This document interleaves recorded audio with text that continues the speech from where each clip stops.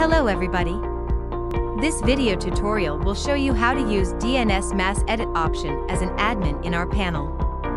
Firstly, go to the login page and fill your username and pass.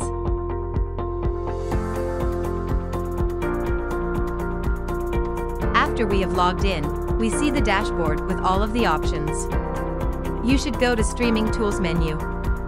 Then just click on the fifth submenu DNS Mass Edit. In the search box you can find whatever you want to change by keywords. These can be streams or movies. Just click on the Type menu. In the Replace box you could enter the new name, which you want to be set.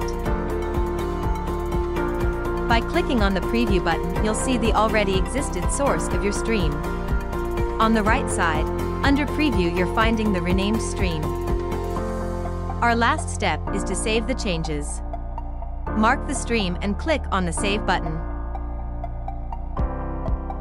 Your sources are already updated. Thanks for watching.